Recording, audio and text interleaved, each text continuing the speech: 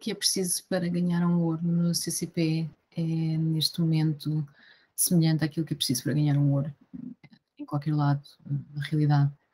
Um, é preciso um bom conceito, uma ideia forte, um, mesmo que seja mais complexa, uma ideia que não seja muito difícil de explicar, e um, craft, que é uma coisa que leva as ideias de uma maneira que às vezes subestimamos, não é? Na, na, na, na pressa e na rapidez de como se trabalha nesta indústria.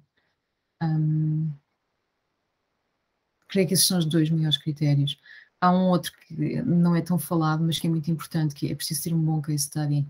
Há case studies que arruinam o trabalho e há outros que levam o trabalho, às vezes até quase para além da qualidade do trabalho.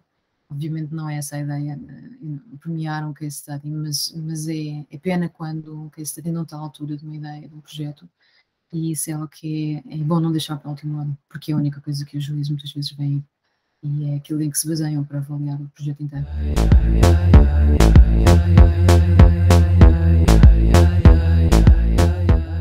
Uh, como avalio os ouros deste ano em digital e social? Por ser um, um ano bastante bom.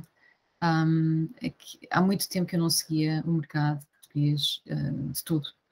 Um, portanto, foi uma surpresa uh, assim, acumulada uh, dá uma sensação que há uma abundância de boas ideias, é um mercado muito universalista, é muito virado para um, referências exteriores, mas também é muito aberto a falar para além das suas fronteiras, o que não é uma má coisa, dado que é um país pequeno.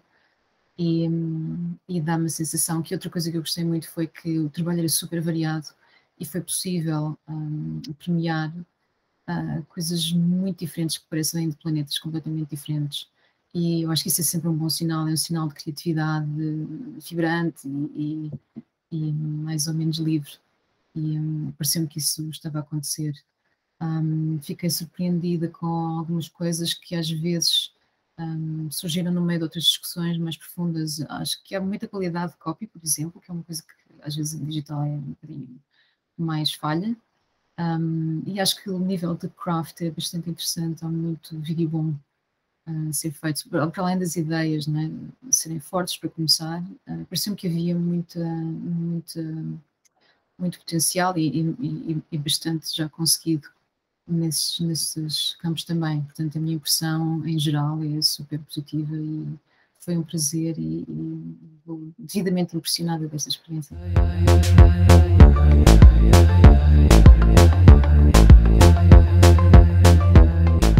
perguntar qual é o meu trabalho preferido é um bocadinho injusto, porque ao longo destes dias fui tendo vários trabalhos preferidos e uh, parece-me que eles são diferentes exemplos bons de coisas uh, totalmente diversas uh, e que lá está, tiveram a ver com o facto de termos tido uma seleção tão variada e tão rica, um, com muitas tonalidades diferentes e com muitas um, soluções diferentes. Um, para aquilo que foi, mais uma vez, essencialmente um ano quase impossível. Um, portanto, tive, mais uma vez, é injusto, acho que houve ideias muito uh, cómicas e se calhar uh, que começaram se calhar até por ser mais pequenas e que se tornaram muito interessantes à medida que se foram desenvolvendo.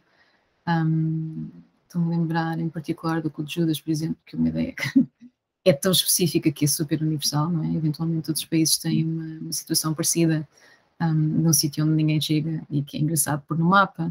Um, houve uma série de, de, exemplos assim, alguns que me chamaram a atenção porque o conceito era muito, muito eh, memorável e outros porque se calhar a execução era, era mais interessante. Um, no cômputo geral das coisas, eu se calhar escolhia duas ideias, Exaco, e provavelmente estão refletidas na votação uh, que nós fizemos. Uma é o ídolo, que me parece que é uma ideia super interessante para uma marca global um, que na realidade não tem nenhum tipo de textura cultural, um, tanto quanto sei, neste mercado e que adquiriu essa textura cultural quase imediatamente com este projeto, mas que também uh, parece-me proporcionou um projeto super invulgar e único uh, e, e, deixou que isso acontecesse, ou permitiu que isso acontecesse, e isso parece-me um projeto total muito, muito interessante. Uh, não tinha falhas nenhumas qualquer ângulo que se visse e por qualquer categoria que se aproximasse.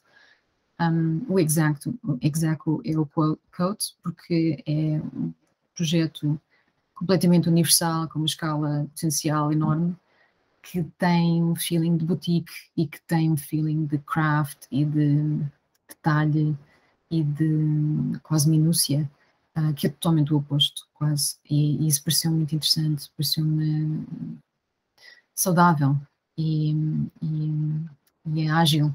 Estamos a ver projetos que não têm nada a ver uns com os outros, que têm, mais uma vez, uma voz totalmente diferente e que os dois coexistem, ou mais, é? muito mais, que foram também uh, bastante interessantes e, e, e, não, e, nomeados neste, neste, neste grupo, e que todos coexistem num mercado relativamente pequeno, que lá está, que tem uma ambição sempre um bocadinho para além de fronteiras. Isso pareceu super positivo.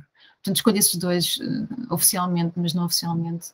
Um, eu gostava que as pessoas que estão a ser nomeadas e premiadas e em shortlist saibam que houve muito mais e que, em geral, foi uma, foi uma experiência super interessante e muito, muito compensadora. E uma obrigada.